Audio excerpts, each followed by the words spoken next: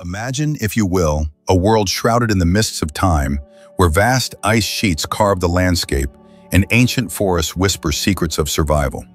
It's a prehistoric dawn, perhaps 100,000 years ago, when the first flickers of human ingenuity light up the darkness. Picture small bands of wanderers, their feet calloused from endless journeys, crossing treacherous seas on makeshift rafts, driven by an unquenchable curiosity for what lies beyond the horizon. These are our ancestors, Homo sapiens, stepping out from the cradle of Africa into a realm teeming with other human-like beings, cousins long separated by the relentless march of evolution. But among them lurks a shadow, a enigmatic presence that has eluded our grasp for millennia, the Denisovans. Today we embark on a journey through the echoes of prehistory, unraveling the threads of their story, piecing together a puzzle that challenges everything we thought we knew about our origins. Hold on tight, because this tale isn't just about bones and genes. It's about the raw, untamed forces that shaped us, the interminglings that blurred the lines between species, and the enduring legacy that pulses in our veins even now. By the end, you'll see humanity not as a straight line, but as a vibrant web of connections, forged in the fires of ancient encounters.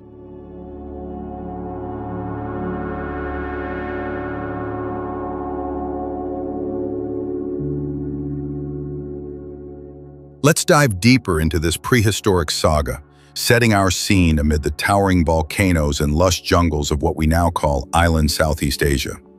Back then, the world was a mosaic of land bridges and isolated islands, shaped by fluctuating sea levels during the Pleistocene epoch. Glaciers locked away vast amounts of water, exposing continental shelves that allowed migrations impossible today. In this dynamic environment, life was a constant battle against the elements erupting mountains spewing ash that blanketed the land, monsoons flooding rivers, and predators lurking in the undergrowth. It was here, in this crucible of change, that various branches of the human family converged, their paths crossing in ways that would forever alter the genetic tapestry of our species. The story begins not with grand fossils or monumental tools, but with a humble fragment, a tiny pinky bone unearthed from the cold depths of a Siberian cave, around 100,000 years ago, though its discovery by modern science came much later, in the early 21st century. This bone, belonging to a young individual, held within it the blueprint of an entire lost population. Prehistoric times were rife with such hidden treasures, buried under layers of sediment accumulated over eons. Imagine the cave itself. Denisova Cave, nestled in the Altai Mountains, a refuge for ancient wanderers seeking shelter from biting winds and snowstorms. Bears, wolves, and early humans all vied for its protection, leaving behind scraps of their existence. The pinky bone, preserved by the cave's stable, cool conditions, carried DNA that, when sequenced, revealed a shocking truth. This was no Neanderthal, no early Homo sapiens, but something new, a sister lineage that diverged from the path leading to Neanderthals around 400,000 to 600,000 years ago. In the vast expanse of prehistoric Eurasia, such divergences were commonplace. Evolution wasn't a neat tree with clean branches. It was a tangled thicket, influenced by isolation, climate shifts, and occasional reunions. Groups of early hominins, adapting to diverse environments, from the frozen steppes of Siberia to the tropical archipelagos of the south, developed unique traits, the Denisovans, as they came to be known after the cave, embodied this adaptability. Their genome, extracted with painstaking precision, showed adaptations perhaps suited to high altitudes or cold climates, though we can only speculate based on genetic hints. For instance, certain variants in their DNA suggest resilience to low oxygen levels, much like those found in modern Tibetan populations who inherited them through ancient interbreeding. This points to a prehistoric narrative where Denisovans roamed far and wide, from the icy north to warmer southern realms, their movements dictated by the ebb and flow of ice ages. But why did this discovery send shockwaves through the scientific community? Because it upended the simplistic view of human evolution as a linear progression from primitive to modern. Prehistory was a time of multiplicity, with multiple human forms coexisting, competing, and sometimes cooperating. Neanderthals in Europe and Western Asia, with their robust builds and sophisticated toolkits, were already known. Early Homo sapiens, emerging from Africa around 300,000 years ago, but migrating out in waves starting perhaps 100,000 years ago, added another layer. The Denisovans filled a gap, representing an eastern counterpart to Neanderthals. Their existence implied that the human family tree was bushier than imagined, with branches intertwining through gene flow. This admixture, the blending of genomes through interbreeding, was a hallmark of prehistoric interactions. It wasn't just survival of the fittest, it was survival through integration, where encounters between groups led to hybrid vigor, enhancing adaptability.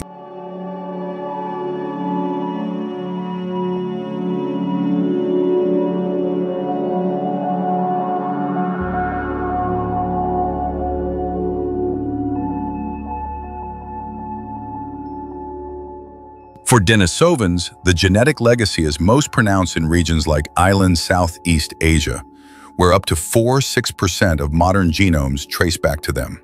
This isn't random. It reflects specific prehistoric events.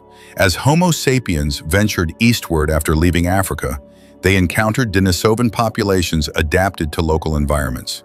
These meetings, perhaps around campfires on beachheads or in forest clearings, resulted in offspring who carried forward a mosaic of traits.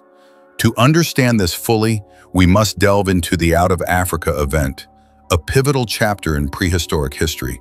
Around 70,000 to 50,000 years ago, during a period of relative climatic stability, a group of Homo sapiens, numbering perhaps in the thousands, crossed into Eurasia. The African continent, with its savannas and river valleys, had nurtured our species for hundreds of thousands of years, fostering innovations like advanced stone tools and symbolic art. But population pressures, climate changes, or sheer wanderlust propelled them outward. They navigated the Sinai Peninsula, or perhaps coastal routes along the Red Sea, entering a world already occupied. First came Neanderthals in the Near East, where admixture occurred swiftly embedding 1 to 2% Neanderthal DNA in all non-African descendants. This happened early, before the sapiens population dispersed widely, ensuring the signal's uniformity. As they pushed further, the landscape transformed.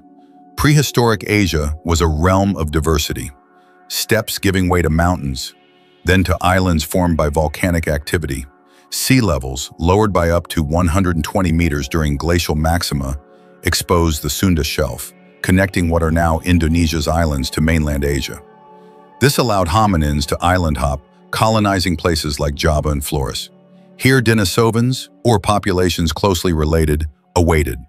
Genetic analyses reveal that the Denisovan DNA in modern Australasians is distinct from the Siberian sample, suggesting multiple subgroups.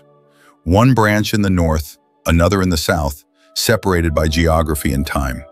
The southern group, thriving in tropical settings, might have developed darker skin for sun protection, or dietary adaptations for island resources like shellfish and tubers. Personal insight here. This fragmentation mirrors broader evolutionary patterns seen in other species during prehistory. Think of how wolves diversified into subspecies across continents, or how birds on isolated islands evolved unique beaks. For humans, it underscores our plasticity, the ability to adapt rapidly. Adding analysis, the lack of widespread Denisovan fossils speaks to preservation biases. Tropical environments with acidic soils and heavy rains dissolve bones quickly, unlike the protective caves of Europe or Siberia. So while Neanderthal sites abound, Denisovan remains are scarce, forcing us to rely on genetics as a window into the past. Modern populations in Papua New Guinea and Australia carry the highest Denisovan ancestry, around 4%, versus 2% Neanderthal in Eurasians. This gradient suggests localized admixture in prehistoric Sahul, ancient Australia-New Guinea landmass. Isolated groups like Andaman Islanders, descended from the same out-of-Africa wave but lacking equivalent Denisovan input, bolster this. Their isolation, on islands cut off by rising seas post-glaciation, preserved a baseline genome without southern Denisovan influence. No super-archaic signal emerges strongly. What appears as such correlates with Neanderthal, Denisovan ancestry, likely undetected segments from those groups. This implies methods refine over time, revealing subtleties. In prehistoric terms, it means admixture was selective, genes conferring advantages, like immune boosts or metabolic tweaks, persisted. For instance, Denisovan alleles aid high-altitude adaptation in Tibetans, a prehistoric gift enduring today.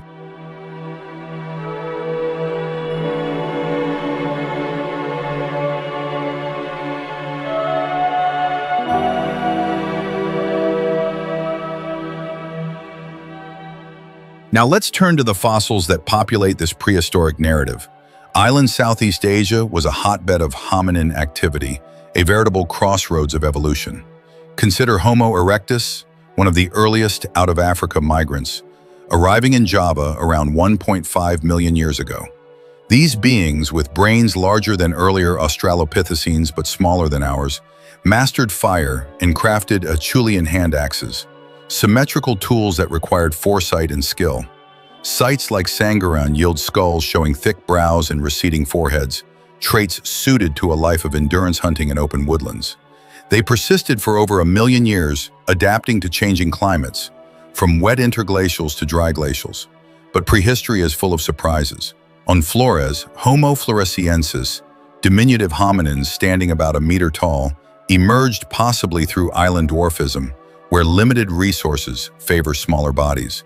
Their tools, simple yet effective, help them hunt dwarf elephants and giant rats. Dating to around 100,000 to 50,000 years ago, they coexisted with incoming sapiens. Similarly, in the Philippines, Homo luzonensis left footprints in time, with bones showing a mix of primitive and advanced features, like curved finger bones hinting at tree climbing alongside ground dwelling. These super-archaic groups diverged from our line over a million years ago, paint a picture of prehistoric diversity. Yet genetic studies show little to no admixture with them in modern genomes. Instead, the signal points to Denisovans. Why? Perhaps because super-archaics were too distant genetically, leading to infertility in hybrids, or because encounters were rare or hostile. Analysis suggests that while Homo erectus thrived early, Later populations might represent inflows of newer groups, like Denisovan relatives.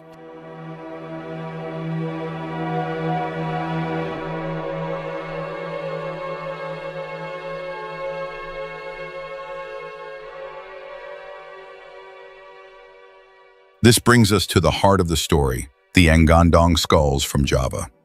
Unearthed in the 1930s along the Solo River, a prehistoric waterway teeming with life, where herds of deer and elephants drank amid crocodile-infested banks. These 12 crania date to 117,000 to 108,000 years ago. The river's terraces, formed by ancient floods, preserve them in sediments rich with volcanic ash. These skulls exhibit a puzzling blend, large brain cases around 1100-1200 cc, closer to modern than classic erectus, Thinner vaults, yet retained archaic elements like supraorbital tori, brow ridges, and elongated shapes.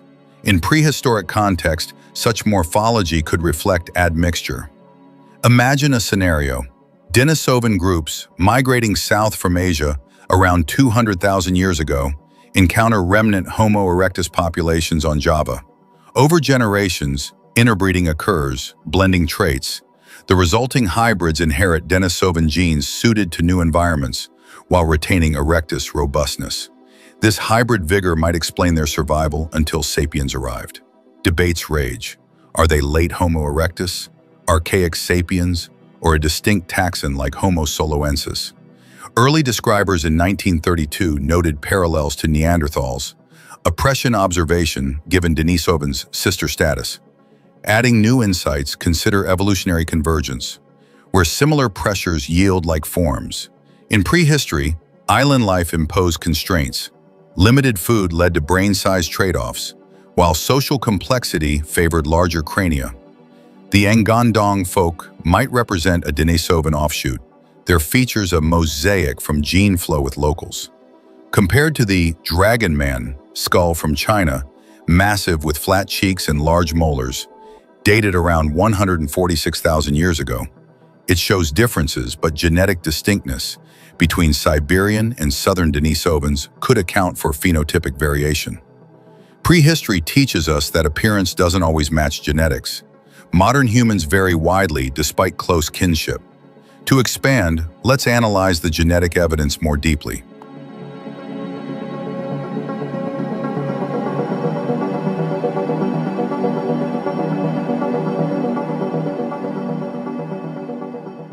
Adding analysis, the lack of super-archaic admixture is telling. It correlates with Neanderthal Denisovan ancestry, likely undetected segments. This implies that the Ngandong population could be the Denisovan-like group that admixed locally. But prehistory isn't just data, it's stories of lives lived. Before we conclude, let's make this vivid with real-life examples drawn from modern echoes of the past. Consider the Sherpas of the Himalayas, whose EPAS1 gene variant from Denisovans allows them to thrive at elevations where others falter. In prehistoric times, Similar adaptations might have helped Denisovan sapiens hybrids conquer mountainous islands. Or think of indigenous Australians, whose oral traditions speak of ancient arrivals and spirit ancestors. Genetic studies link them to early migrations, with Denisovan DNA possibly influencing traits like robust jaws or disease resistance. A specific story, in 2019, researchers traced a Denisovan-derived gene in Papuans aiding fat metabolism, perhaps a legacy from prehistoric diets heavy in tubers and seafood.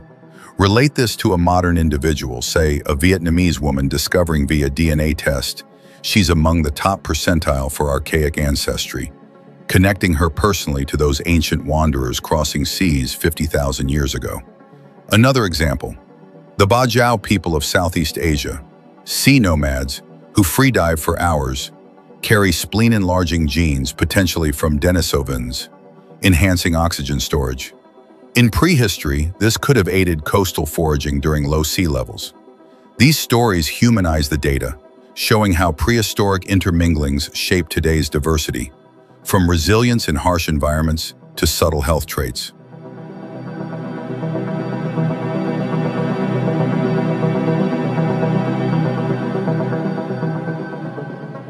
As we wrap this epic prehistoric journey, the clear takeaway is profound. Human evolution is a testament to connection, not isolation. In the vast theater of prehistory, where Denisovans and their kin dance with our ancestors amid jungles and rivers, we learned that diversity strengthens us. Admixture wasn't weakness, it was our superpower, weaving a resilient genome from multiple threads. Today, as we face global challenges, remember this lesson. Embrace our shared heritage, for in the bones of the past lies the unity of our future. Thank you for joining this exploration. May it inspire you to look at humanity with wonder